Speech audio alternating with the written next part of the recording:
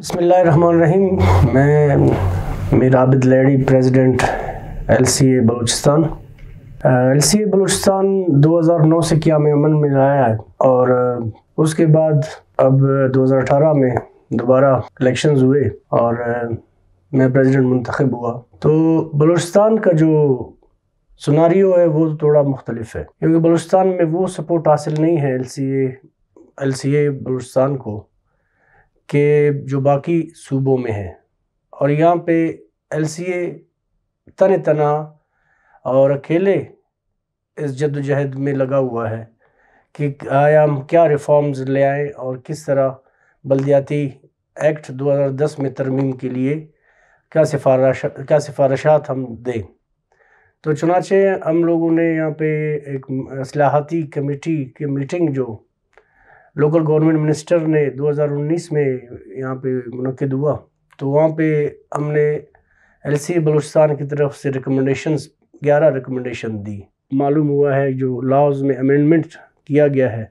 तो उसमें हमारे कुछ आ, जो रिकमेंडेशंस थी वो शामिल हुए हैं। ये बड़ी अचीवमेंट है एल सी ए बलूचिस्तान की। एल सी ए बलूचिस्तान का किरदार हमेशा यही रहेगा कि ये गवर्नमेंट और काउंसलर्स के दरमियान वो किरदार अदा करे कि इनके मसाइल हल की तरफ़ जाएँ। काउंसलर्स के मसाइल हल कर, तरफ़ जाएँ और ये ना हो कि हम कहीं माजाराई की तरफ़ गवर्नमेंट की तरफ़ चले जाएँ। नहीं। हमारा मेन मकसद यही है कि हम चाहते हैं कि काउंसलर्स को उनके इख्तियार का इलम होना चाहिए। और कौंसलर किस तरह मंतखब होता है? कौंसलर के क्या इख्तियार है? और वो किस तरह इसको अमल दरामद कराएगा? जो आने वाला बल्दियाती निज़ाम है, उसमें हमारी यही कोशिश है एल सी बलूचिस्तान की कि हम चाहें, हम चाहते हैं कि कौंसलर जो है मेन जो इसका अहम सतून है कौंसलर कि जब आप मंतखब होते हैं तो कौंसलर मंतखब होते हैं, उसके बाद फिर आप चेयरमैन आते हैं, उसके बाद फिर आप मेयर आते हैं, लेकिन सबसे मेन सतून कौंसलर है। काउंसलर आप मंतखब हुए तो आपको आपके फ़रज़ की आगाही से आपको बाइलम होना चाहिए कि काउंसलर किस तरह इख्तियार रखता है और उसके क्या इख्तियार हैं। आया वो अपने इलाके में अपने इख्तियार पे अमल दरामद करवा सकेगा? या अपने इलाके के मसाइल हल करवा सकेगा? या जो हल्का इकतदार में जो बैठते हैं, उनसे अपने हकूक़ छीन सकेगा?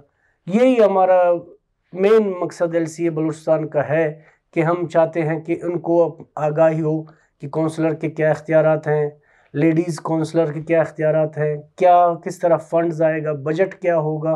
तो हम ये चाहते हैं कि हमारे और हुकूमत के दरमियान और कौंसलर हजरात के दरमियान एक ब्रिज हो और उसमें उनके मसाइल के हल की तरफ़ जाए। हालिया जो सेशन का हम लोगों ने आगाज़ कर लिया है बलूचिस्तान में तो इन ताला हम ये मुहिम पूरे बलुस्तान भर में चलाएँगे और आगाही मुहिम हम पूरे बलुस्तान भर में ले जाएँगे और हम चाहते हैं कि हमारे कौंसलर हजरात इस मुहिम में हमारे साथ शरीक हों। कौंसलर हजरात को उनके लिए आगाही मुहिम मनद किए जाएँगे तमाम बलुस्तान के अज़ला में और उनको बताया जाएगा कि आपके इख्तियार क्या हैं। और आने वाले सिस्टम में आने वाले लोकल गवर्नमेंट सिस्टम में आप किस तरह से अपने इख्तियार और, अपने इख्तियार और फ़ंड के लिए जदोजहद करेंगे?